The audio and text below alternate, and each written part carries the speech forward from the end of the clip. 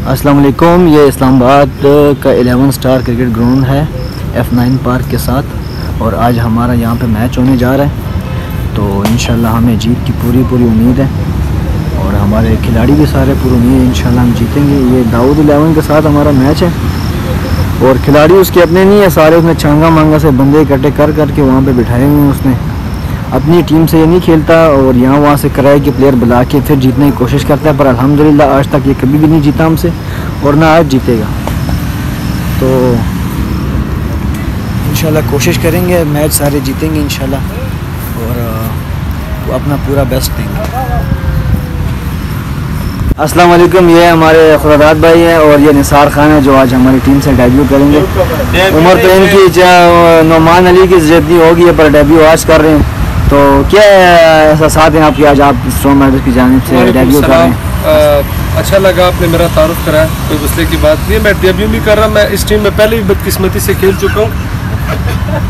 बताइए क्या आप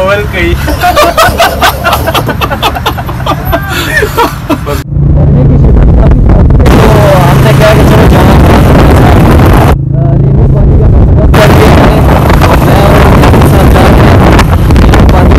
ये हमारे रहमत भाई हैं विकेट कीपिंग करते हैं। आज वो हाँ, पहले हमारी बॉलिंग है तो अभी हम सब जाएँगे बॉलिंग के लिए। और ये जो है तायर ख़ान नियाजी है हमारे ओपनर बैट्समैन है।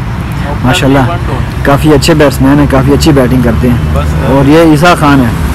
मैं आपसे अपनी टीम की तारीफ़ तारुफ़ करवा रहा हूँ ताकि आइंदा में फिर हमें पता हो कि ये कौन है। ये ईसा खान है जी ये अभी हमारे कभी कभी ओपन करते हैं कभी वन डाउन करते हैं। ये हर जगह पे खेल सकते हैं ये बब्बर शेर हैं।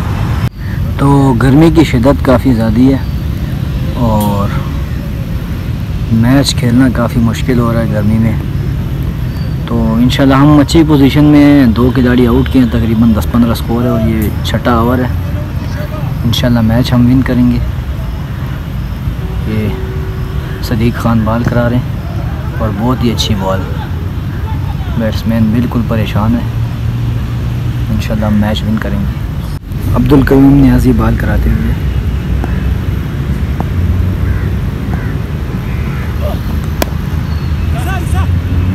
कोई रन नहीं बन पाया। ये तायर हफीज़ भाई हैं। आज माशाल्लाह बहुत बड़ा मैच चल रहा है। स्ट्रॉम राइडर्स और फ्रेंड इलेवन का बहुत बड़ा टाकरा है। जैसे हम आपको छोटा मिसाल दे देते हैं पाकिस्तान और इंडिया का। गर्मी के बारे में आप क्या कहते हैं? यार गर्मी बहुत है। जो क्रिकेट के शौकीन होते हैं ना उन लोगों के लिए गर्मी कुछ भी नहीं है। तो अल्हम्दुलिल्लाह, सारों का स्टमना अच्छा है। ये देखे ये अच्छा शॉट खेला है। काफ़ी अच्छा शॉट इनिंग का दूसरा चौका लग गया जी छः ओवर बाद। दूसरी इनिंग स्टार्ट होगी जी, दो सौ रन का टारगेट मिला हुआ है।